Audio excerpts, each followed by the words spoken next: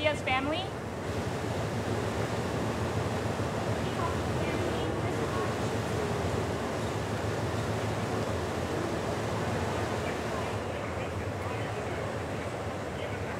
Well, thank you very much. It's a great honor that you're here.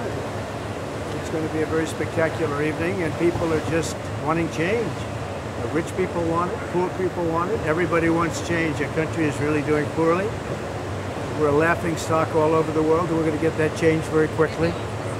And this has been some uh, incredible evening before it even starts because people they wanted to contribute to a cause of making America great again, and that's what's happened. We're going to make America great again. Everyone knows it.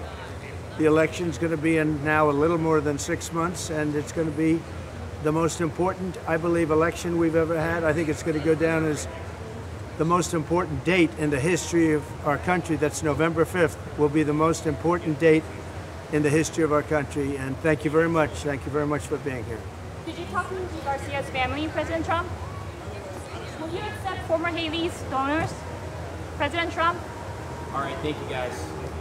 Thank you, press. Thank you, President.